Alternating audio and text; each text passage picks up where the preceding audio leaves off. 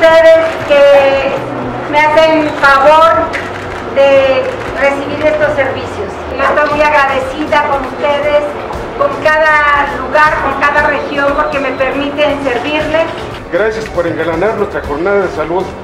Su servidor y el equipo de Iscocla queda atento a sus propuestas para trabajar en conjunto, porque juntos hace mucho. Usted cuente con Iscocla. Gracias, maestra Lorena.